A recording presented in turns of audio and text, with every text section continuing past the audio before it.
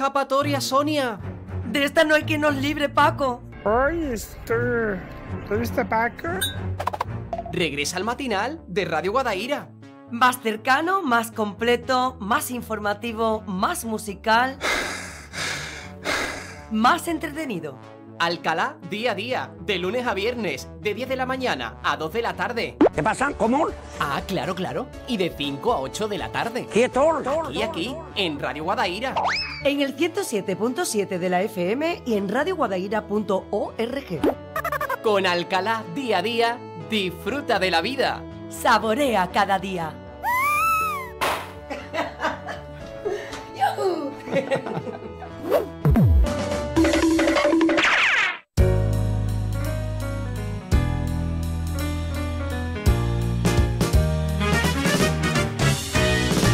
Pues con estas sevillanas tan actuales del alcalareño Iván Gallego, comenzamos esta nueva hora. Son las 12 y 7 minutos de la tarde y te hablamos de la Feria de Alcalá. Se me antojó, se me fue la pizza y se me antojó irme de Triana Nueva York. Bueno, pues nos comunican desde todas las aerolíneas que los viajes hacia Nueva York están overbooking y que ya no hay más plazas. Así que nos aconsejan que todos aquellos que se hayan quedado sin su pase hacia Nueva York se vengan a la feria de Alcalá de Guadaira.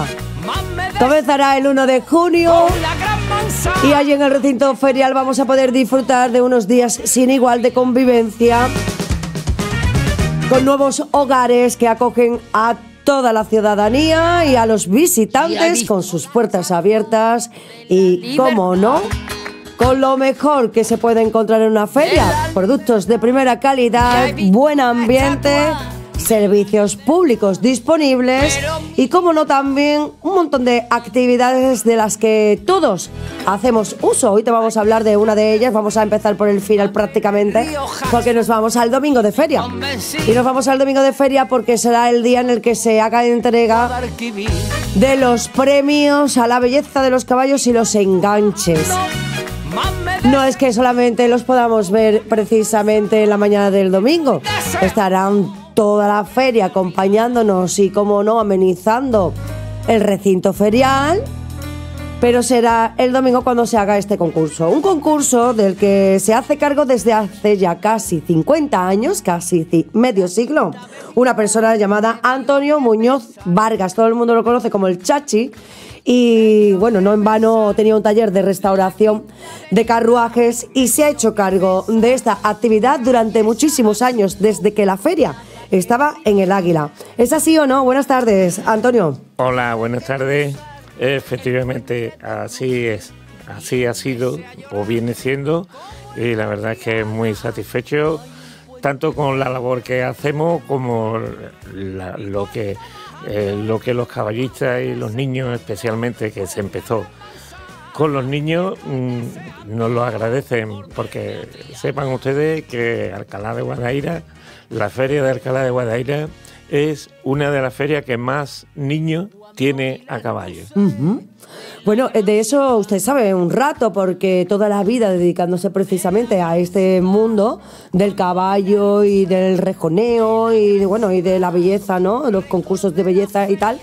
Eh, tendrá también eh, un montón de gente alrededor que, que practica eh, este, este deporte, quien dice, como quien dice, y que participa de muchas ferias y hablarán de cuáles le parece mejor, a cuáles quieren ir, ¿no?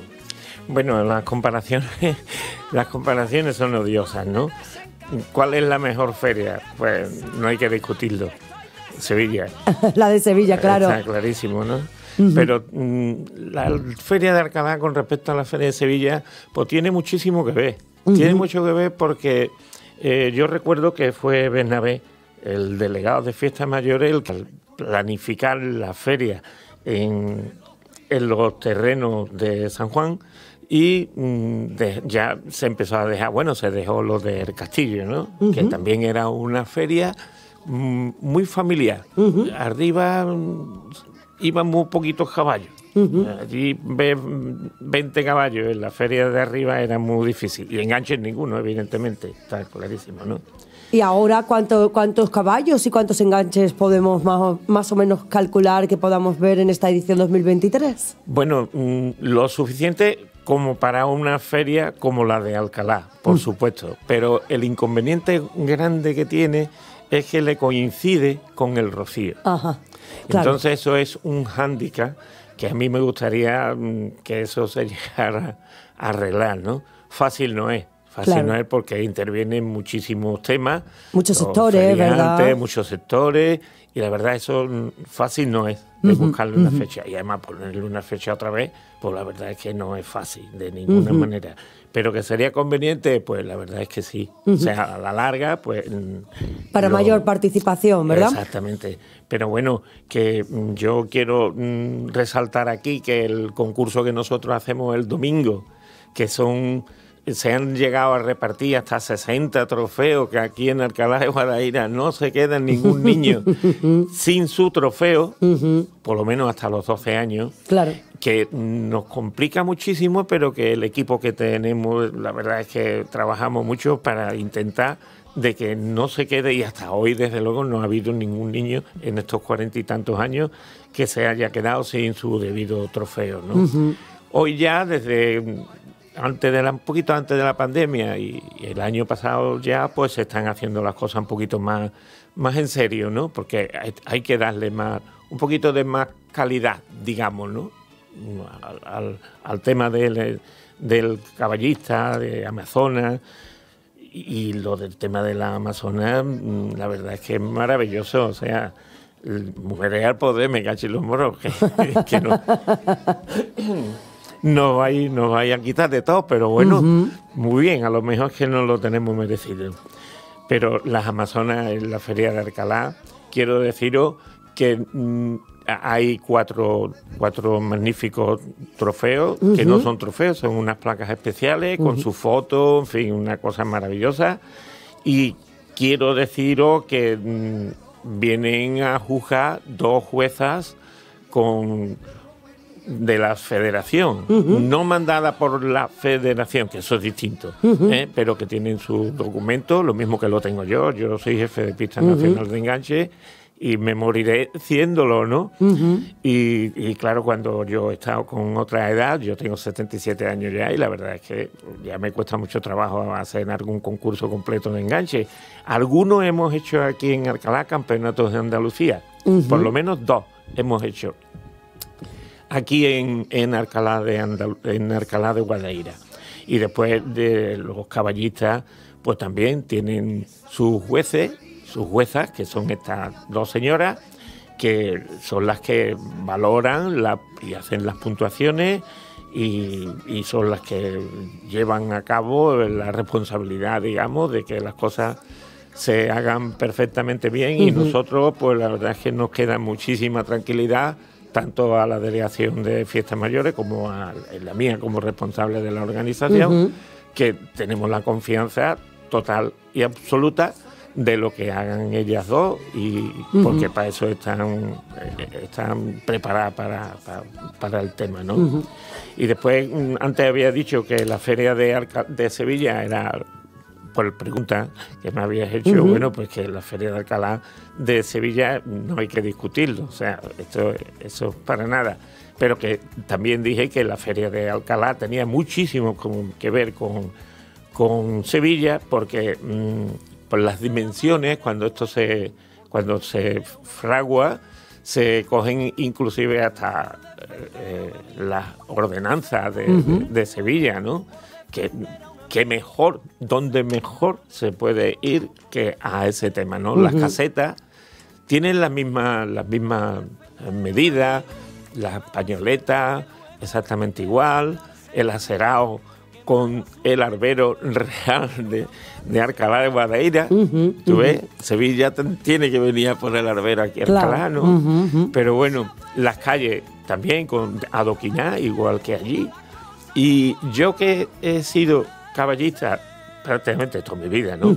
Pero en Alcalá he venido muchísimo a caballo, siempre he venido a caballo a Alcalá, últimamente ya no, ¿no? Pero siempre he venido a Alcalá, ¿no? Y, y yo siempre he dicho, yo me hago una foto en Alcalá de Guadaira y en Sevilla, y el que haya ido a las dos ferias es- será el único que sea capaz de distinguir si estoy en Sevilla o si estoy en Alcalá.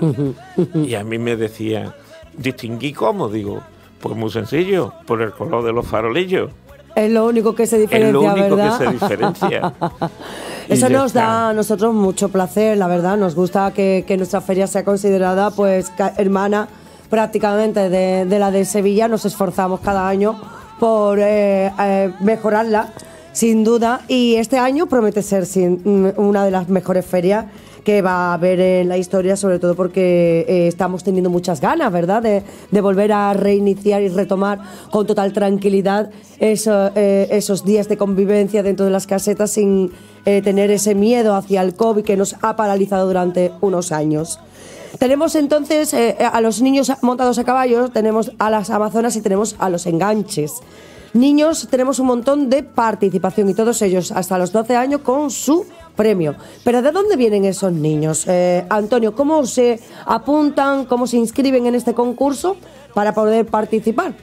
Bueno, pues eh, venir vienen de, de- de Alcalá prácticamente, o sea, vienen gente de fuera, evidentemente, de dos hermanas, de Mairena y del Viso también, pero mm, normalmente son ya gente más mayor, ¿eh? no son los niños, los niños son todos aquí de Alcalá, alcalareños y alcalareñas con toda seguridad. Y estarán en alguna escuela de hípica que supongo que participa y que se hacen eco de este concurso, ¿no? Bueno, yo mm, quiero decirte que mm, deciros que Alcalá de Guadaira es un pueblo mm, del que tiene de las mejores escuelas, especialmente para, para niños con discapacidades dis- distintas. Si lo digo bien y si lo digo mal, pues pido disculpas. ¿no? Sí, sí.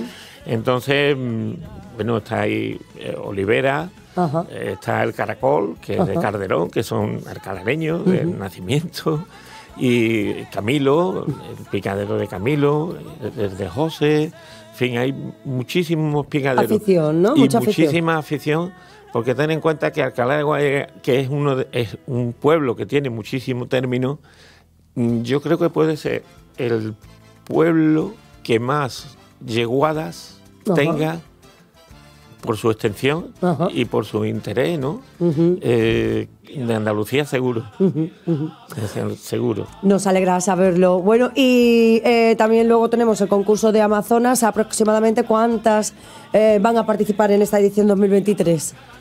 Bueno, pues mm, el año pasado pues, participaron alrededor de 30, ¿eh? O sea que 30 mm, Seguro que las tenemos, ¿verdad? seguro que las vamos a tener este año también.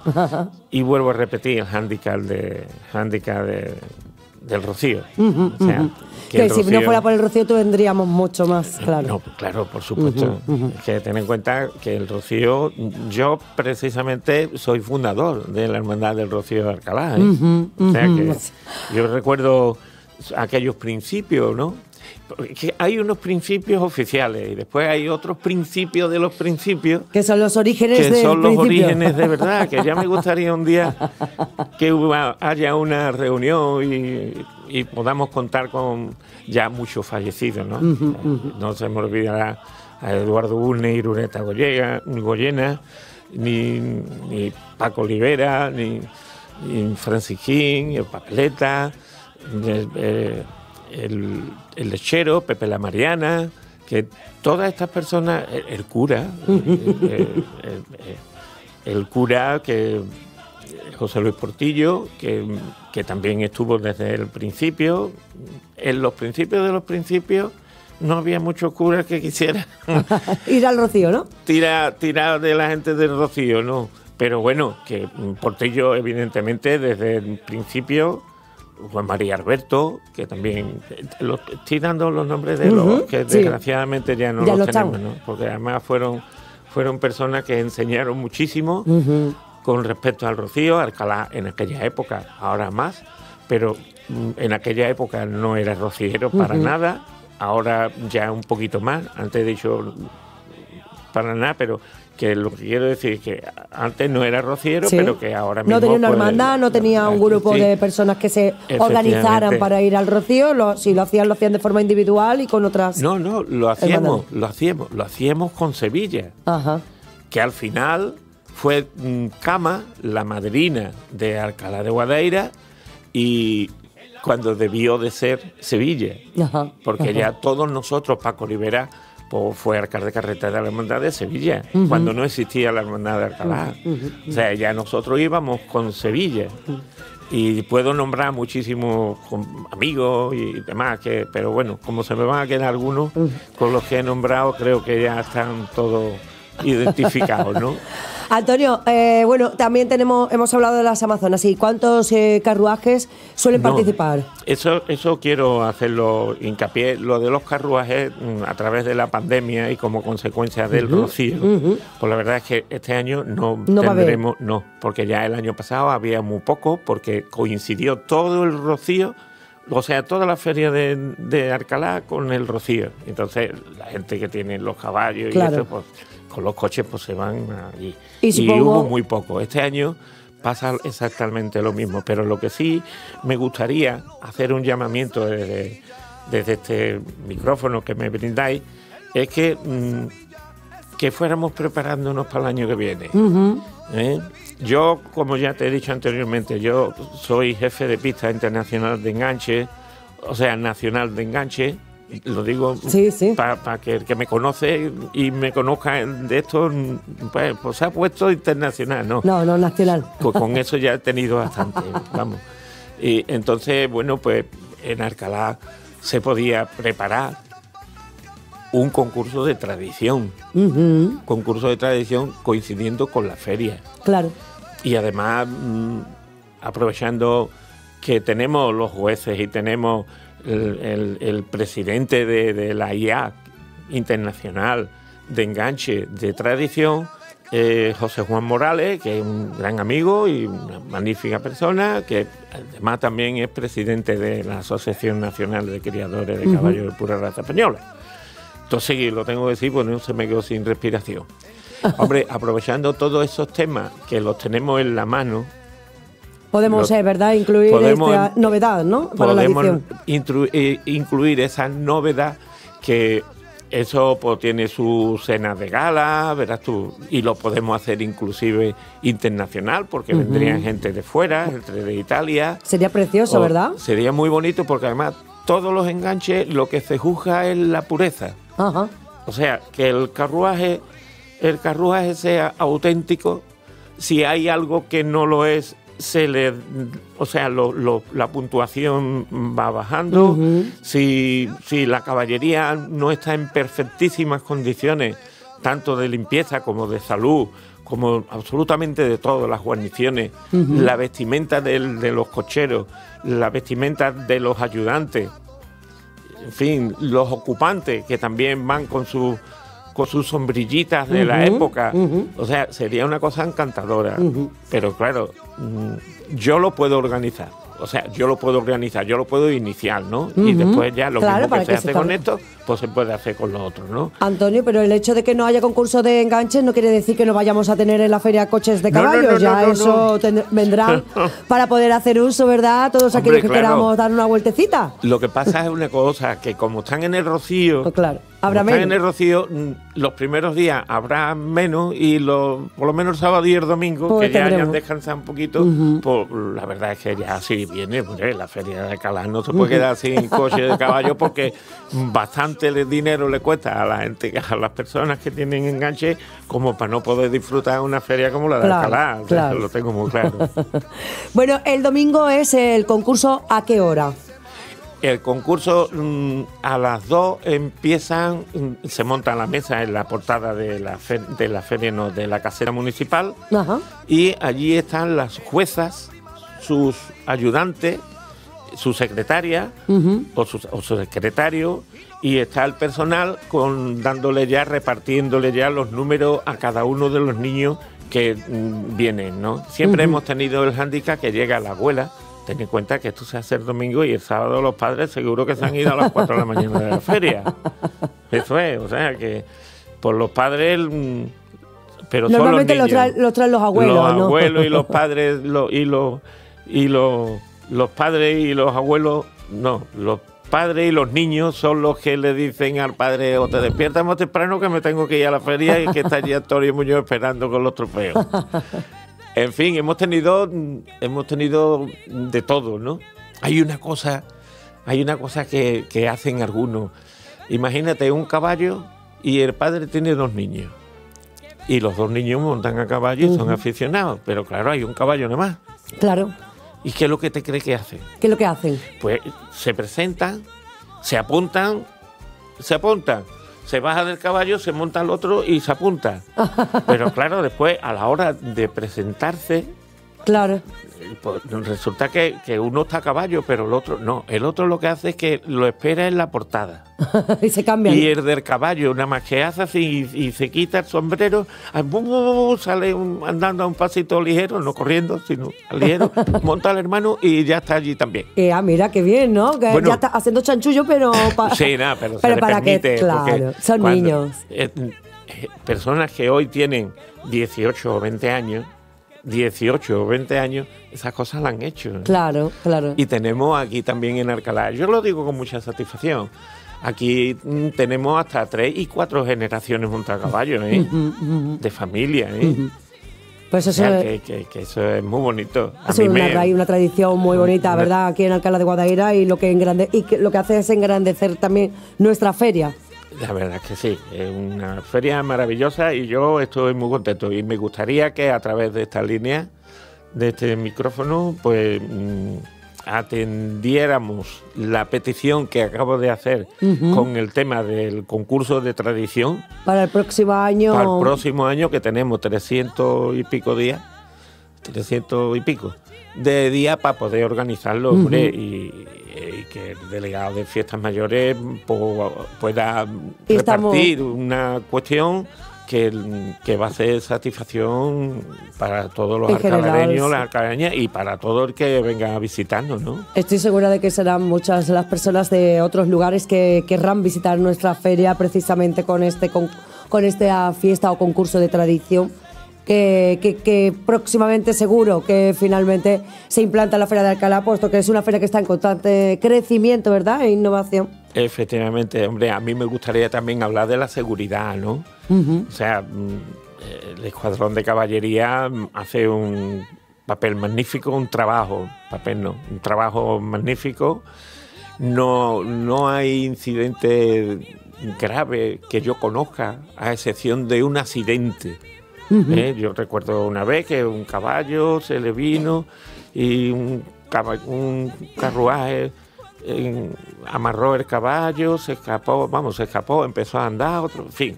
Pero eso fue, Bueno, pero eso es un accidente que además un- también ya ocurrió y luego, sin embargo, las otras ediciones, por ejemplo, no ha ocurrido para nada. nada. para nada. Por eso me gustaría hablar de, si tú me lo permites, Sí. del tema de seguridad, ¿no? Tanto el escuadrón de caballería como el, el equipo de la policía del, del Cuerpo Nacional de Policía de seguridad hacen un trabajo magnífico.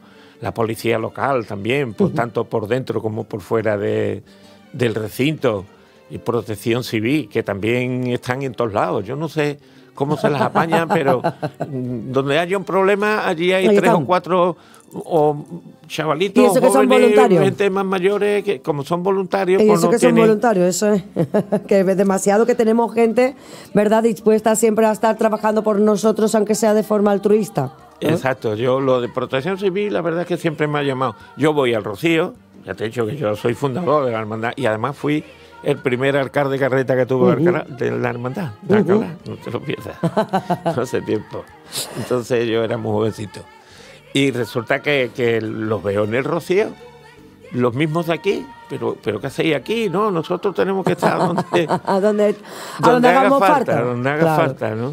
Y la verdad es que eh, muy bien. Mm. muy- y de hecho, cua- cuando se hace la entrega, cuando se hace la entrega de los trofeos y de las placas y tal, pues el último acto es reconocerle bien. a los cuerpos y fuerzas de seguridad del Estado que participan aquí, eh, hacerle su reconocimiento, Claro. ¿no? Entonces yo le dedico, vamos, yo, el ayuntamiento, pero yo, que soy el que organiza, eh, y, el delegado pues le entrega su placa preciosa, muy bonita, con una foto que la eligen ellos también, ahora reunión con ellos para ver qué foto le ponemos y tal y cual.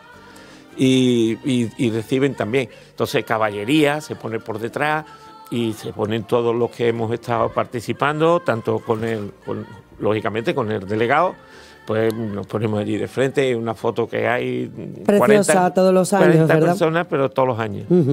pues Antonio, eh, si alguien así despistado que no haya participado nunca en Alcalá de Guadaira, pues en esta exhibición y concurso de, caballistas eh, y quiera hacerlo, puede dirigirse a algún lugar para inscribirse, a qué, o, tiene que estar simplemente el domingo a las 2 de la tarde en la, en la inscripción previa en la caseta. Efectivamente, la, es que si no es un lío. el día antes no sabes si vas a venir o no vas a venir. Muy bien, muy bien. En el mismo día, ¿no? Todo en el mismo día a la partir de la una y media, dos menos cuarto. ¿Y requisitos que tenga que cumplir o que o papeles que tenga que traer para poder no Le pedimos, no le pedimos ninguno porque ya lo pide el ayuntamiento. o sea que tú no puedes ir a caballo si no tienes un seguro, tú no puedes ir en un carruaje si no tienes un seguro y una matrícula. Entonces, pues en eso no nos metemos porque difícilmente vaya alguien a la feria que no tenga la documentación, porque sería, entre otras cosas, un irresponsable.